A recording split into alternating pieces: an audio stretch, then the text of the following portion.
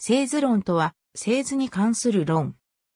木内進は、製図とは、設計者の描いた施設の像を、形状、寸法、仕様等を明らかにし、図面として客観化することで、設計は設計者が意図的に施設の具体的な形を作り出していくことであり、製図は設計図を作るため頭の中に描いた施設の具体的な形を製図規範に従って表すことである。それゆえ製図は設計者の描いた設計図を表現するという設計の一側面であると理解しなければならないとした。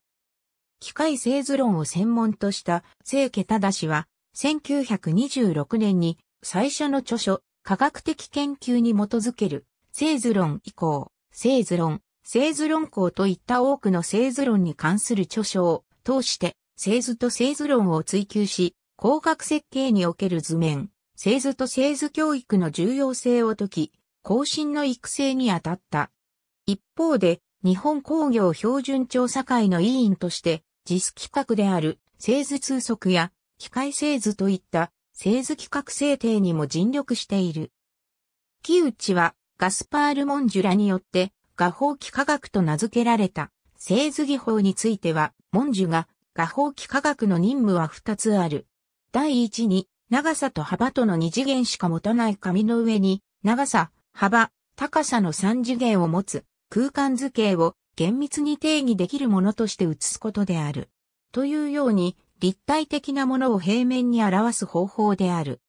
立体的に作られた施設の像を図面化するためには、こうした製図技法に従って平面図や断面図という二次元的な図形に展開していかなければならないのである。